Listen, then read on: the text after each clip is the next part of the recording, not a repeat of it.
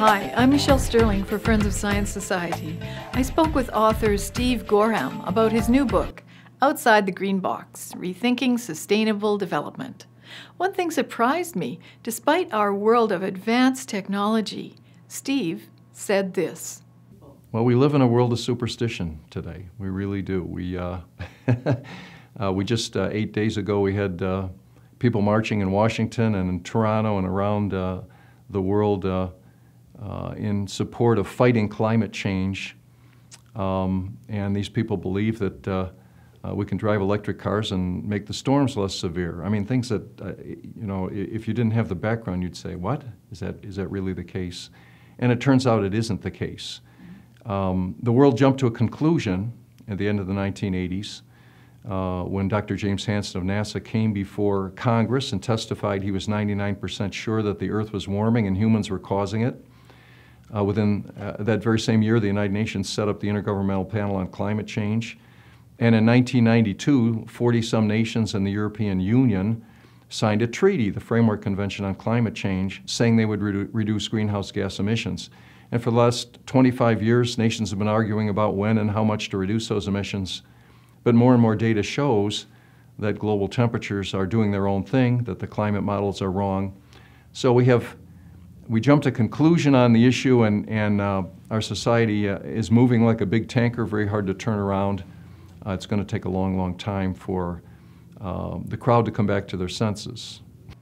Surely a world of superstition should be, could be debated and debunked at institutions of higher learning.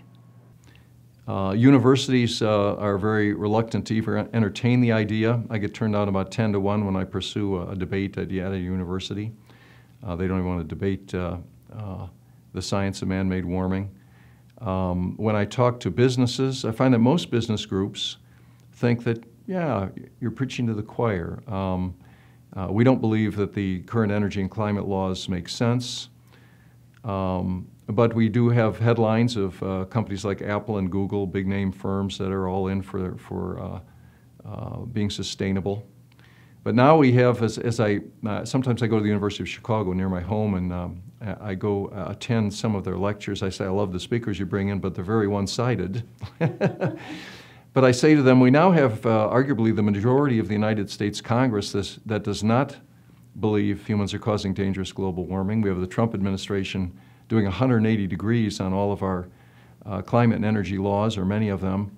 Isn't it time for debate at the University of Chicago? No, no, we won't want to debate that, is what they tell me. So it's, uh, it really is a, a strange situation. With all the recent headlines around the world revealing that climate models, their computer simulations, have been over exaggerating warming for nearly three decades, maybe there is some hope.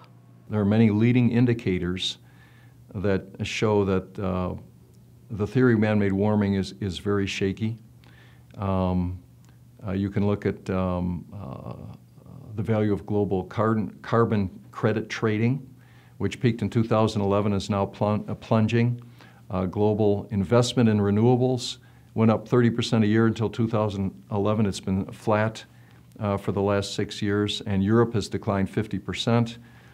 Um, we have uh, many climate scientists now that are saying that we're possibly entering a period of cooling because of lower solar activity, uh, because uh, the big ocean currents, uh, uh ocean temperature cycles, the Pacific Decadal Oscillation, the Atlantic Multi-Decadal Oscillation, are moving into cool phases. And if that occurs, the planet temperatures will be flat to cooling, and all these climate models will be way up here. So they're, they're going to get farther and farther from reality. So the good news is, I think uh, nations and leaders will eventually come to their senses and we'll get back to uh, common, sense, uh, common sense energy and, and environmental policies. Well, I think Friends of Science does a great job, and I want you to keep up your work. Nice to hear. You can help. Join our club. Become a member of Friends of Science. Donate. Help us bring common sense and sound cost benefit analysis back to public policy on climate change. For Friends of Science, I'm Michelle Sterling.